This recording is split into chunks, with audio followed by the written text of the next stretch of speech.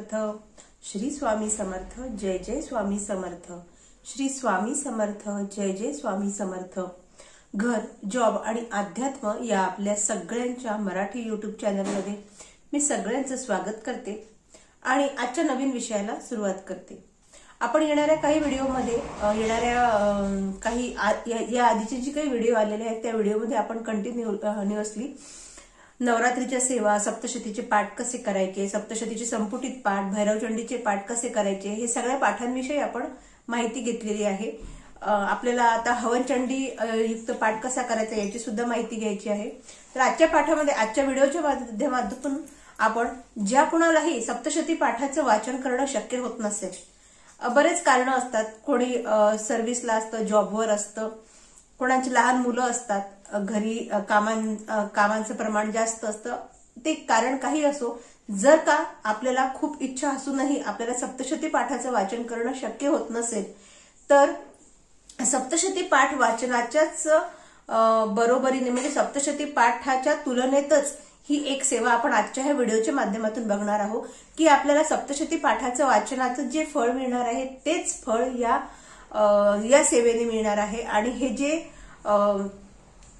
हे जे फळ आहे आता तुम्ही म्हणाल की सप्तशती एवढं मोठा ग्रंथ आहे इतकं मोठं त्याला वाचायला एवढे नियम हे ते सगळं असतं आणि त्याचंच वाचनाचं फळ हे या लहानशा सेवानी सेवेने कसं काय मिळणार आहे?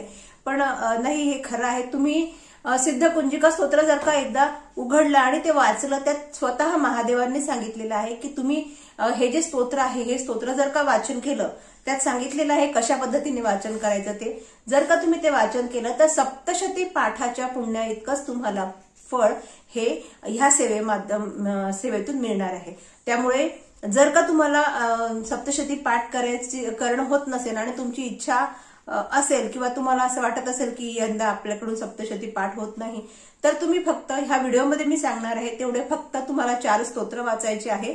पण ज्या क्रमाने सांगणार त्याच क्रमाने ते चार स्तोत्र वाचायचे आहे आणि पूर्ण सप्तशती पाठाचं फळ मिळवायचं आहे.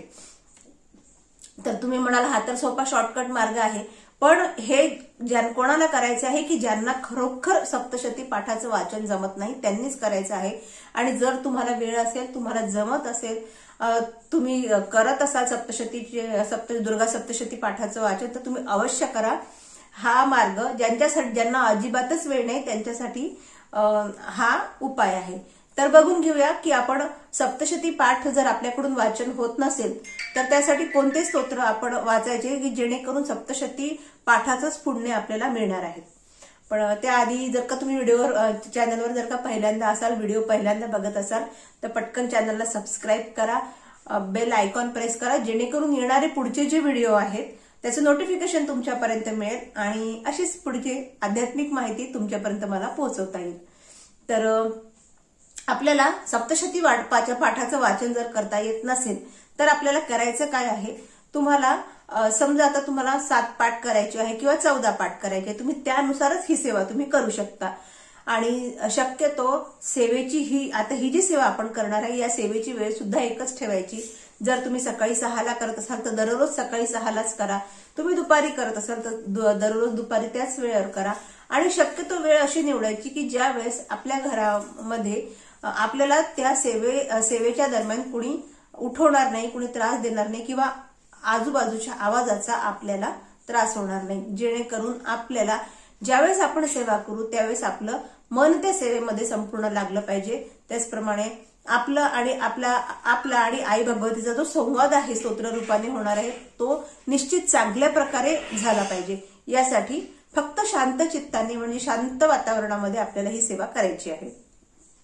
तर सेवा अशी आहे आपल्याला दुर्गा सप्तशती पाठाच्या ऐवजी जर का आपण सर्वप्रथम दिव्या कवचम बघा इथे साईडनी मी तुम्हाला इथे लिहून दिलेलं आहे या पद्धतीने हे चार स्तोत्र वाचायचे आहे.